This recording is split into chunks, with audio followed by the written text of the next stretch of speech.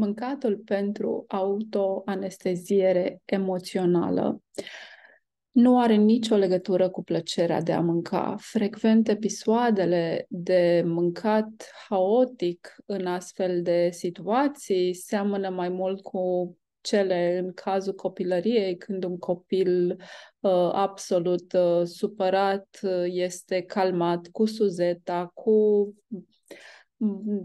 bombonica, cu mâncare de obicei și uh, este de discutat dacă de acolo vine sau nu acest obicei de a te calma mâncând, însă frecvent nu are legătură cu plăcerea de a mânca, ci cu reacția de stres, de resemnare.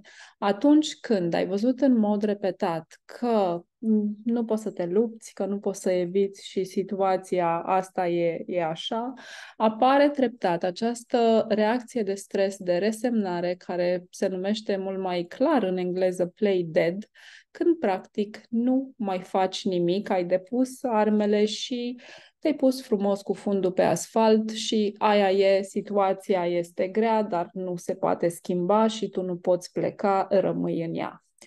Și când toate lucrurile astea au devenit clare în capul tău, pentru că situația este grea, pentru că nu se poate schimba, pentru că asta e, rămâi în ea, cumva apare nevoia de a te disocia de toată povestea. Da? Și cum se disociază, adică să nu mai simți. Este vorba despre anestezie, repet, numbing nu are legătură, nicio legătură cu plăcerea, nu are nicio legătură cu personalitatea ta sau cu puterea ta interioară. Este o decizie de a te resemna.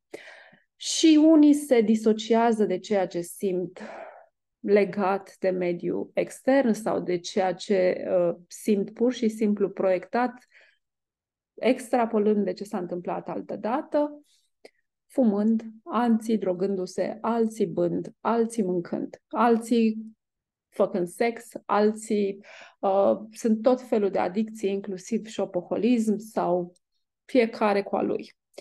Și de ce este important să înțelegi acest aspect? Pentru că, deși există această percepție din ce în ce mai încurajată că vei putea șterge cu buretele astfel încât să nu se vadă pe imaginea corporală faptul că mănânci pentru anestezie emoțională, treptat, treptat riști să pierzi controlul și treptat, treptat riști să te îmbolnăvești, independent de ce se vede pe imaginea corporală.